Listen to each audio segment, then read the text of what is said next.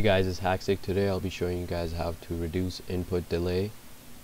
So yeah, let's get right into the video. Okay guys, so the first step is to open your web browser.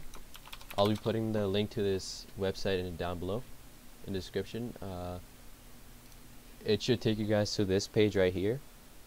Uh, all you do is just click this free download button and click this download now.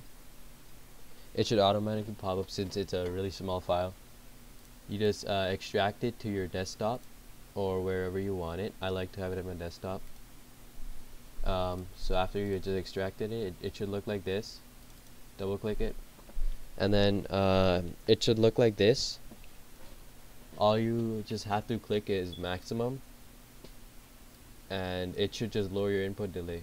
It was 1 millisecond for me now it's 0.5 and so the main important thing about this is never like close the whole uh, file or whatever.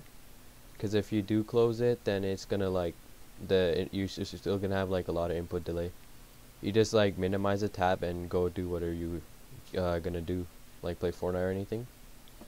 So yeah that's it. Uh, that was a small tutorial on how to lower input delay on PC I'll see you guys in the next video. Peace